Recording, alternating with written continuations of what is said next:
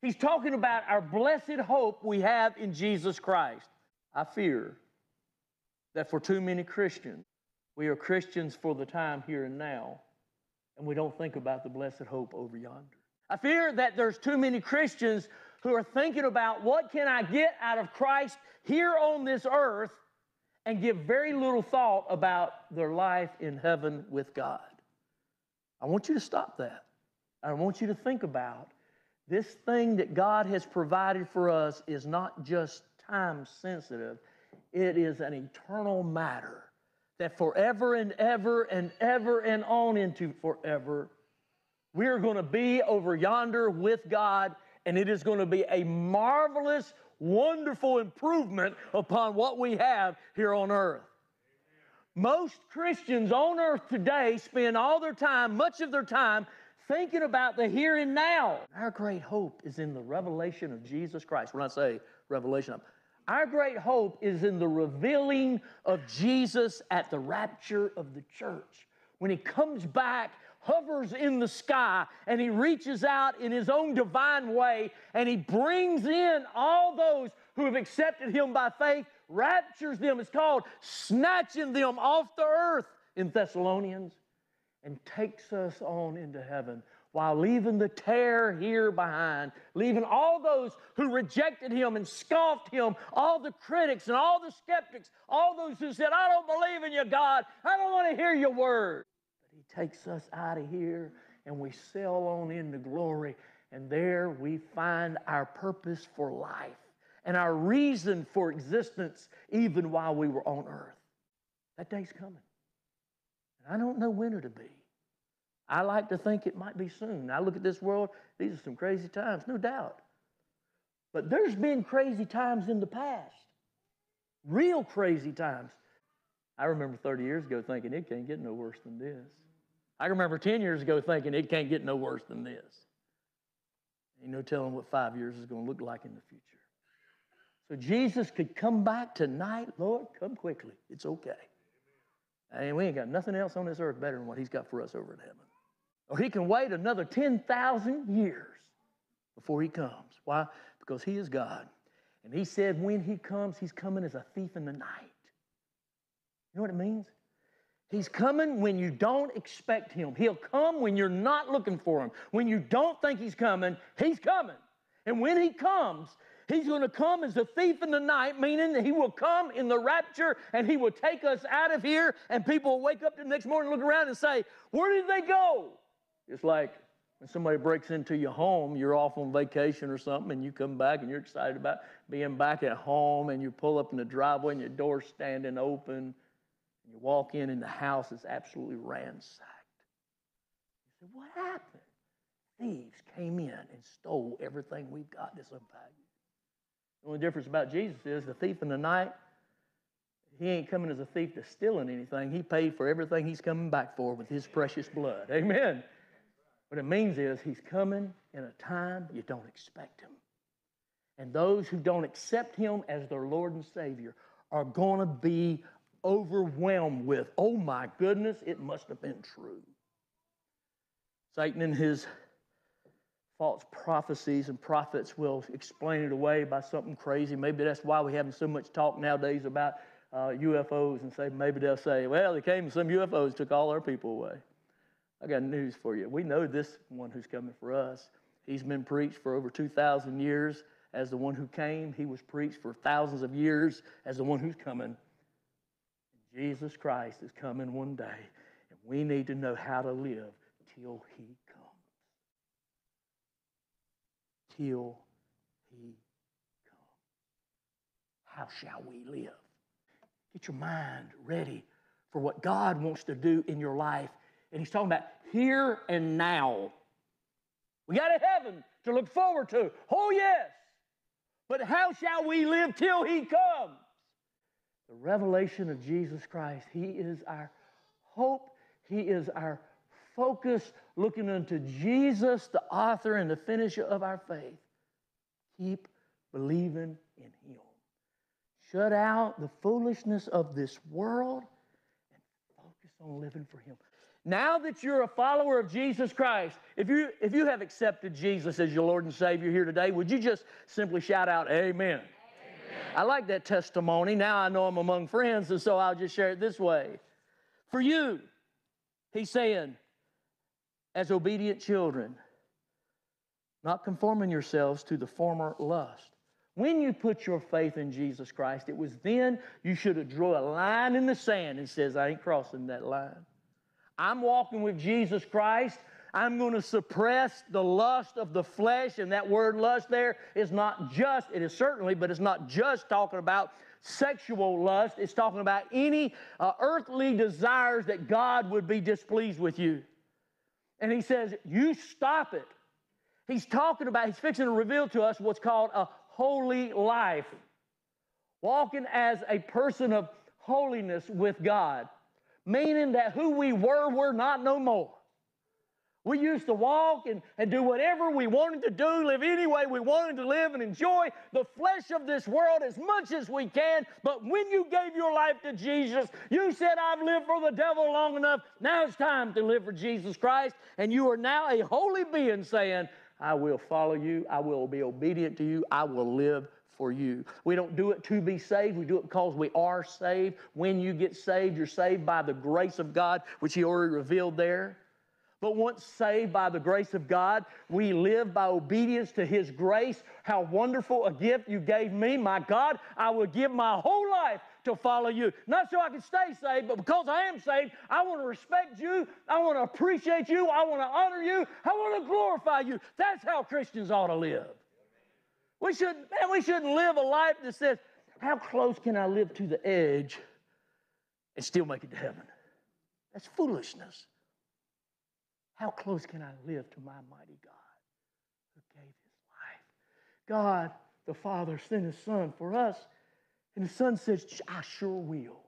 I will take away the barrier between God and sinful man, holy God and sinful man. I will take that barrier away, and he hung on that cross, became our sin debt, paid it all, that we might be saved. Now, saved, we look at our lives and say, if you save me to a life of holiness, I want to live that life in purity, in harmony with God. So I sacrifice, you sacrifice of those desires of the flesh because the desire of the Spirit is to honor Him and to walk in harmony with Him. He goes, as obedient children, not conforming yourselves to the former lust, as in your ignorance. The reason you did it, the reason any of you is doing it, is because you're ignorant of what you have been offered. Well, ignorance is not a, it's not a word of saying you're ignorant, being hateful. It's a word of saying you just don't know what you're missing. I remember sitting down at the table when I was a little boy, and I would turn my nose up to something, and my grandma would say, Boy, you don't know what you're missing. Try that. You'll like it. And most of the time I would. I would. And so we, in our ignorance, living after the flesh, we didn't know what we was missing. But now we've accepted Christ and we've, we've tasted the good grace of God. And we say, My Lord, I want more. I want to live for you. I want to be obedient. I want to experience you more. And so we live as obedient children before God. And then he says, But as he who called you is holy, you also be holy in all of your conduct. Because it is written, Be holy, for I am holy. And so here is Peter. Do you know who Peter was? Peter was like he was like one of the top guys with Jesus. He was one of the guys that walked with Jesus all the time. Peter was an incredibly holy guy. I know he fell, but the grace of God washes away all our sins. I mean, you know, he denied Jesus three times right before Jesus went and died on the cross. And then after Jesus rose from the grave, Peter could have denied him, but chose rather to die. He died on a cross. And he said, Hang me upside down because I ain't worthy to hang upright like my Savior. Because he saw the resurrected Lord. Peter was that great preacher of the Jerusalem. He was the great, he was the he was the pastor of the first cowboy church Jerusalem. Okay, it wasn't a cowboy church. But he was the pastor of the first church, church Jerusalem. What an incredible man. He's preaching along. These books he's written are wonderful.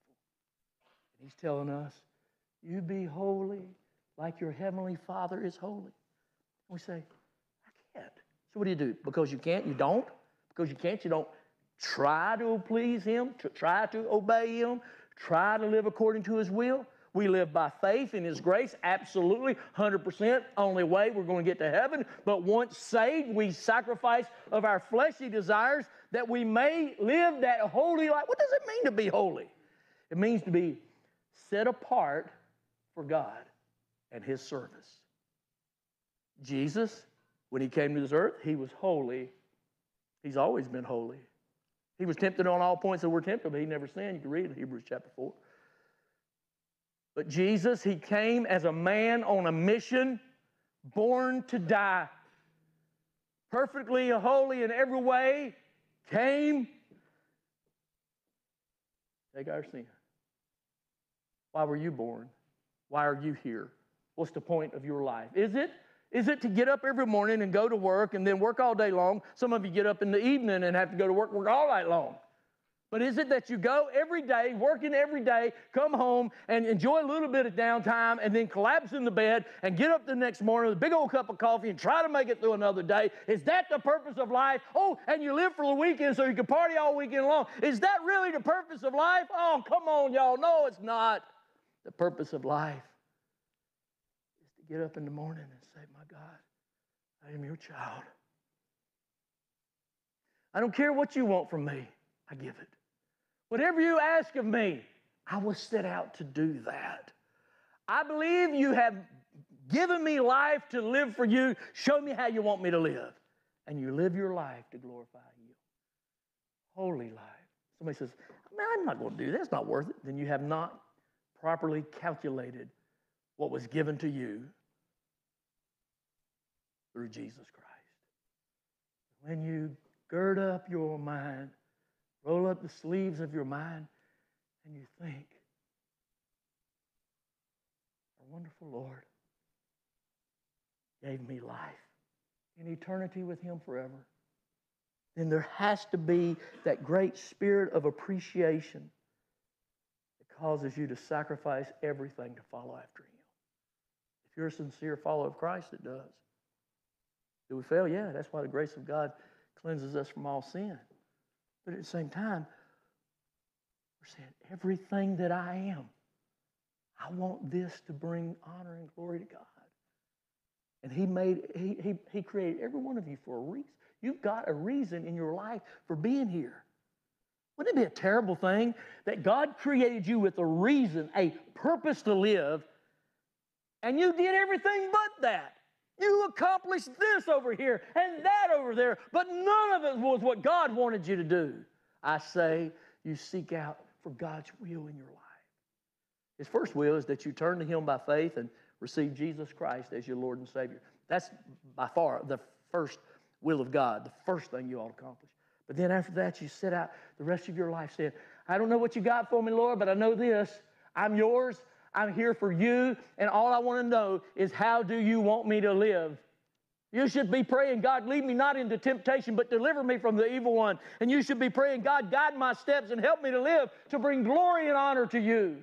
And you live your life every day. You're a careful, you're a careful pilgrim in this land. You carefully move through this life. You evaluate the things that you allow into your life and you are consistently rebuking things out of your life. And you're seeking out to be that one that God looks down from heaven and says, This child is living a life of holiness. And all the world can ridicule you and laugh at you when you stand firm for God. The whole world can say, Oh, how foolish you are. There's so much fun out there and you're wasting it. You live for God, and don't you worry. About it. He loves you. And you look forward to that future hope of the revelation of Jesus Christ because he is coming back for you someday. Verse 17, without partiality, he judges according to each one's work. Your works as a Christian matters. And that's what our world needs to hear today because we're preaching a whole lot of cheap grace. The grace of God is so wonderful. And yet Satan comes along and even perverts grace to make it cheap grace and it says something like this Well, if you've accepted Jesus by faith, it really doesn't matter how you live on this earth because all your sins are covered, so it doesn't matter. It does matter. If you gave your life to Jesus, you gave your life to Jesus. That means if I give Him my life, I'm saying, My life is no longer mine, it is yours, and whatever you call on me to do, I'm going to do it. Not so that I can be saved, but because I am saved, I want to glorify you. That's how Christians should live. He says, Conduct yourselves throughout time of your stay here in fear. What does he mean? He talks about fear, he's talking about fear of God. And this church full of people right here, I'm telling you, we ought to be God fearing people. And of course, there's a lot of so called Christian peoples out there say, well, you don't have to fear God. You just respect Him, you honor Him, you don't have to fear Him. Listen to me. I don't want to lose what God wants to offer. I fear that I displease him. I fear that I dishonor him. I fear that I hurt him by my behavior and my actions. Rather, I want to live in the fear of God, saying, God, you're always right, and I mess up. I pray you'll forgive me. Get my feet back on the solid rock and help me to live like you want me to live. I want to live a Christian life in the fear of God. Peter talks about the fear of God. You were saved by the precious blood of Jesus Christ. Take that into account as you live your life. You were saved by the precious blood of Jesus. What does that mean? It means God the Father sent His Son. His Son came and He died on the cross. His blood was shed to wash your sins away. His precious blood for you. And how can I, realizing that God would leave heaven, be born as a man on earth, die on a cross for my sins, rise from the grave, and say, If you want to be saved, follow me and, and give your life to me. And you do. And how can you say, Yeah, yeah, I'm going to do that? I get, my, I get saved, man, and I'm going to go to heaven, but while I'm on this earth, man, I'm going to live it up because I got the grace of God. No, man, that is like trampling under your feet the precious blood of Jesus. Is there no more honor? Is there no more respect in you than that? Man, it ought to set us back on our heels and say, Oh God, what sacrifice you made for us. My God, I will, I will dedicate every ounce of me to you. I'm going to live for you. And Jesus was revealed to them in person. How, how was he revealed? He was revealed by a miracle birth, the virgin birth of Jesus Christ, and a, and a miracle life as he lived his life here on this earth. He lived such a substitutionary life that even in his lifetime on this earth, he was not spared the hardships of life, but he went through it just like we did. Do you understand that Jesus Christ, God in the flesh, lived on this earth for 33 and a half years, and because of that, he knows the troubles and trials that you have. He knows your hurts, he knows your haunts, he knows all the problems that you have, and he sees it, and he loves you, and he wants to bless your life. But to bless your life, you need to turn to Him by faith and be saved. And being saved, He wants you to turn to Him and work and live for His glory, not to keep your salvation, but because you are saved. You're dedicated to live for Him no matter what. And if you've got problems in your life that you know this stands between me and God, here is a problem in my life that stands between me and God, then you ought to have enough respect for the God who came and saved your soul to say, God, I don't care what I have to do. This sin is getting out of my life. I'm going to stop this. Or maybe you're neglecting a work that He's called you to do, uh, like maybe reading your Bible. One of the most effective things to transform your life is to read your Bible daily. And you can say, you know, I, am slack here. I haven't done. God, I don't care what I have to do. I'm going to change that behavior. I'm going to read my Bible. I'm going to live for you. That's respect for God. He goes on and he says,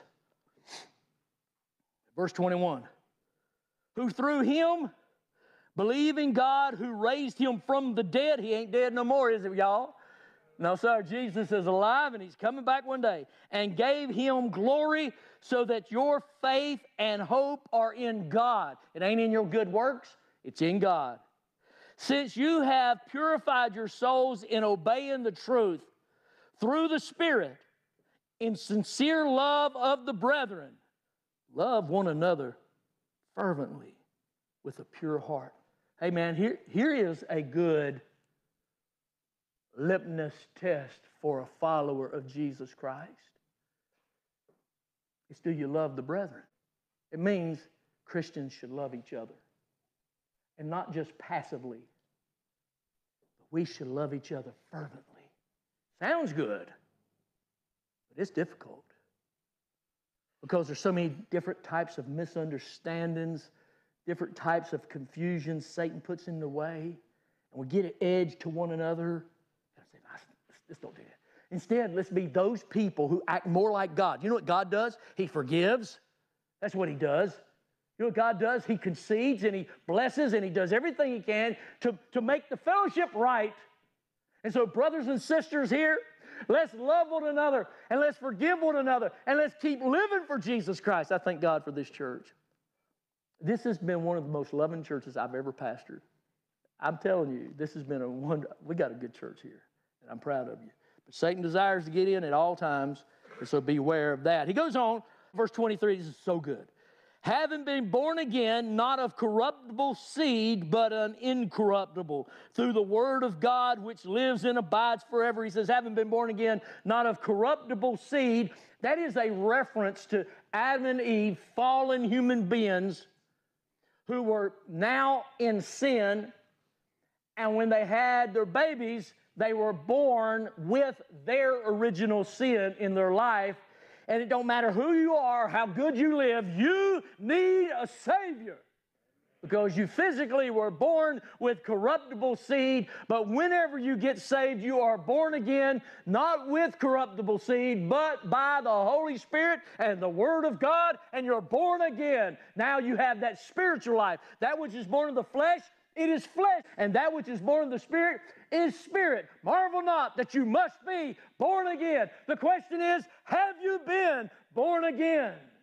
And if you were not, you need to be born again today. You say, well, how can I be born again? You turn to the one, Jesus Christ, who came and he died for you. He took your penalty, your punishment on the cross. He rose from the grave and he's there at the Father. Do you know what Jesus is doing for you right now? He's praying for you. To, if you're not a Christian, he's praying that you'll get saved.